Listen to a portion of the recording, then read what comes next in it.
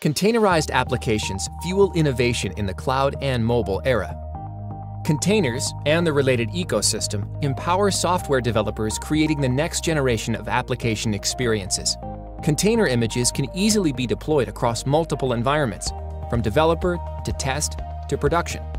With containers addressing the challenges of application portability, scale, and agility, the new challenge is efficiently managing high-density container deployments in production.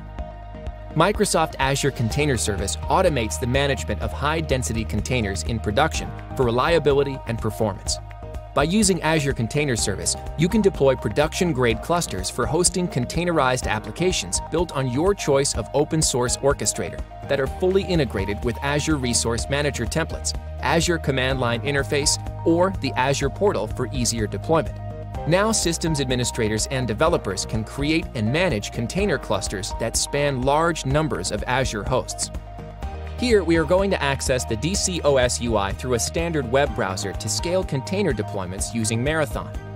Azure Container Service exposes the standard DCOS or Docker Swarm management endpoints, allowing you to create a secure channel for managing your applications. Any tool that works with the standard open source APIs can be used with Azure Container Service. The choice is yours. Azure's approach is unique among cloud providers, combining the flexibility to choose from leading open source technologies with the power, governance, and convenience offered by Azure.